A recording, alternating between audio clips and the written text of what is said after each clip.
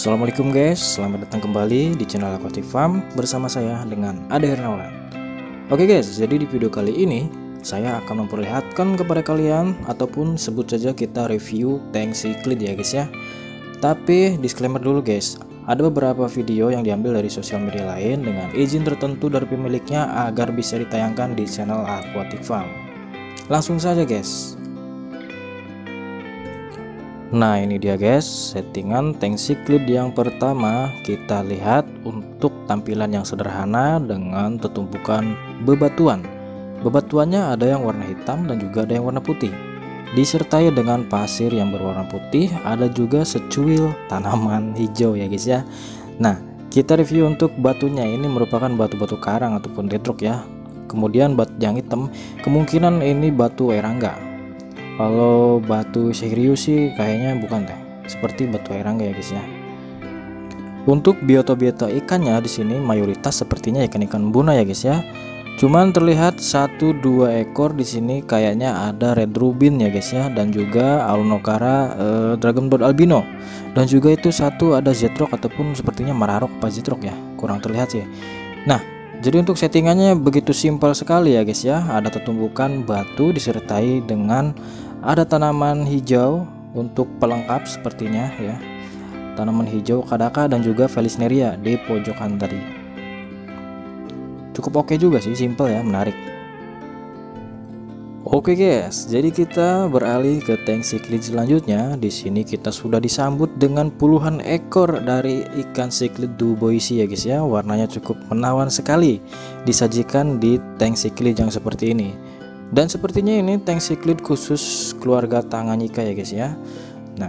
Untuk settingannya di sini cukup simpel juga, hanya menaruh bebatuan di dasaran pasir dan uh, ini batunya jenis apa ya guys ya? Sepertinya antara Vexstone dan juga batu-batu apa ya ini? Batu kali mungkin di daerah sana kali ya. Soalnya ini saya ngambil dari luar sih guys, dari orang luar ya.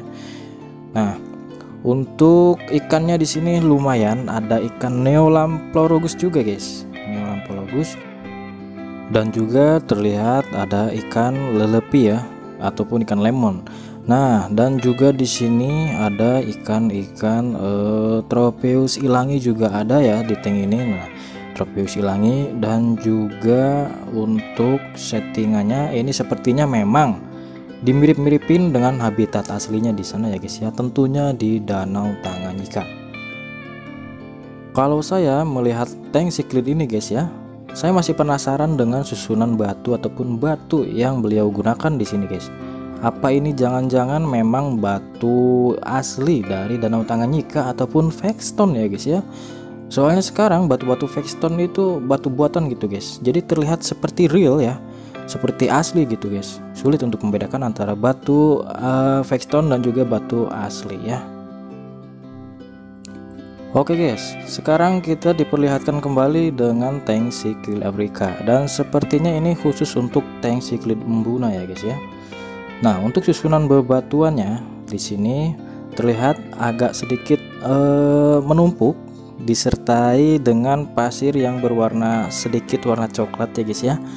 Nah, untuk serpihan ataupun lempengan-lempengan batunya ini disusun secara acak yang terlihat ya seperti memang seperti natural sih ya guys ya.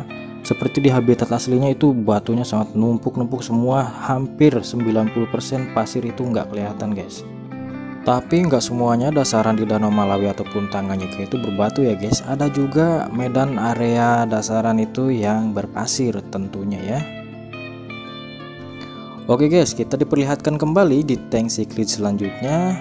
Ada tertumpukan batu karang dan juga pasir mix sepertinya ya. Pasirnya itu ada kerikil putih dan hitam. Disertai dengan settingan di belakang batu karang itu ada akar, di samping kiri kanan juga ada akar, tetapi di sini ditonjolkan dengan ikan-ikan yang cukup ada yang gede, ada yang kecil. Ikan yang gede ini adalah ikan blue mori cichlid dan yang belang-belang seperti itu OB peacock ya guys ada betina dan juga jantan sepertinya di tank ini ya dan ada juga tadi di awal itu ada cichlid red jewel ya sepertinya ya. Oke guys, ini tank cichlid yang terakhir kita review ya guys. Di sini cukup simpel. Settingannya ada dua buah batu yang sepertinya membentuk sebuah gerbang ya. sebuah gate gitu. Masuk ke mana nih gate-nya nih gerbangnya nih? Dan juga di belakangnya ada uh, tanaman sintetis. Tapi di sini ikannya cukup ramai guys ada Star Sapphire, ada Fairy, ada OB Peacock, ada Phosochromis jantan dan betina, ada juga Stone dan Dragon Blood. Wah, pokoknya banyak, guys. Mungkin di sini ditunjukkan uh, bukan untuk settingan hardscape-nya ya, tapi ikan-ikannya di sini lumayan wow, cukup menarik gitu ya. Oke guys, mungkin cukup sekian saja video review tentang tank Cyclid Afrika. Mohon maaf saya hanya menggunakan bahasa yang saya bisa ya guys. Saya pamit undur diri. Assalamualaikum warahmatullahi wabarakatuh.